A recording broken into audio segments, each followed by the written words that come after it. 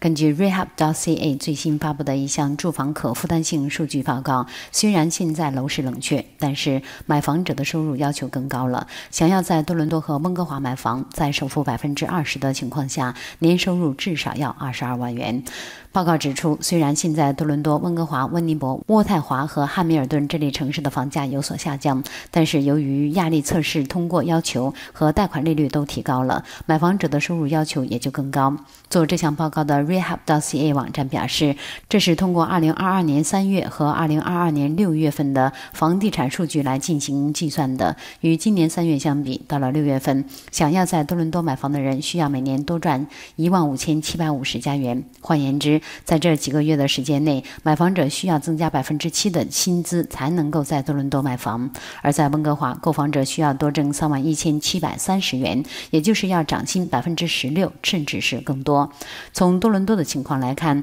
在房价平均是一百三十二万八千二百七十七元的情况下，购房者年收入要二十二万八千元；而多伦多平均一套公寓价格是七十二万零九百二十九元，想要买公寓的人每年需要赚十四万四千六百四十四元。从加拿大所有城市的平均水平来看，在过去四个月的时间内，居民平均年收入需要增加一万八千元才能够买房。加拿大房地产协会的数据显示，近几个月以来快速。速上升的利率令加拿大房价下降，六月份的平均房价与五月份相比下降了百分之一点九。六月是房价连续第三个月下跌，也就是从二零零五年以来的最大月度跌幅。满地可银行高级经济学家罗伯特卡维奇在七月十五日的一份报告中表示。加拿大央行最近将其关键利率提高了整整一个百分点的举措，为2023年更深入的房地产市场调查奠定了基础。BMO、加拿大帝国商业银行、RBC 银行、枫叶银行、道明银行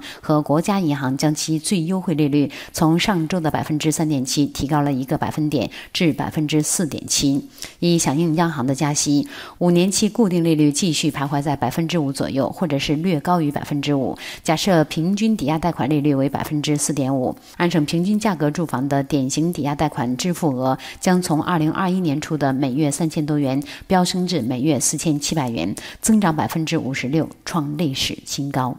根据 w a h e b r t c a 最新发布嘅一项住房可负担性数据报告，虽然依家楼市冷却，但买房者嘅收入要求就更高。要想喺多伦多同温哥华买房，喺首付两成嘅情况下，年收入至少要有二十二万。